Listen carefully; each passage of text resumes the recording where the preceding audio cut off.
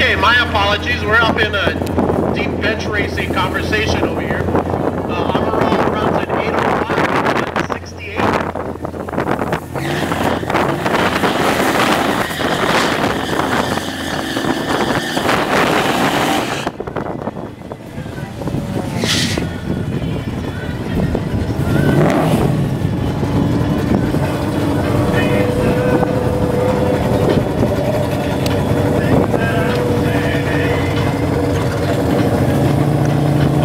Up we got an old school uh, Dodge Boy in the tar lane, and I think that might be a Del Sol on the spectator side.